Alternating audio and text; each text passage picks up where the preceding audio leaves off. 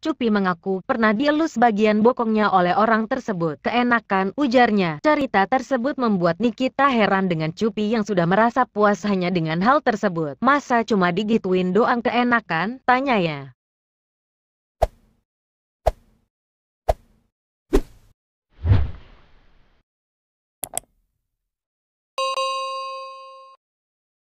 Tak pernah hubungan seksual, Cupi-Cupi tak akui puas hanya dengan hal ini. Pedangdut Cupi Cupita mengaku masih menjaga keperawanannya. Dia belum pernah berhubungan seksual dengan pria mana pun. Namun, pelantun goyang basah itu membeberkan pengalaman nakalnya ketika bertemu dengan seorang buci. Sebutan untuk perempuan berpenampilan laki-laki yang tertarik dengan sesama jenis. Pernah kejebak sama buci waktu di klub dia ganteng banget, ujar Cupi.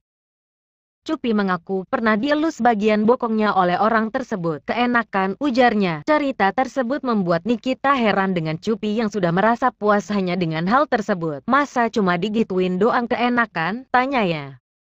Ya kan Cupi enggak pernah kayak gitu. Jadi gitu-gitu juga udah enak jawab Cupi. Dinar Candi pun ikut menanggapi cerita Cupi. DJ seksi itu juga tak percaya jika sang pedangdut merasa puas hanya dengan dielus buci.